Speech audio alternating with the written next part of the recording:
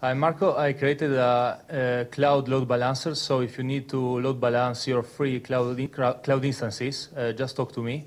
And it, it is free. So for early startups, it's a good idea. It is platform independent, so it works for any cloud service.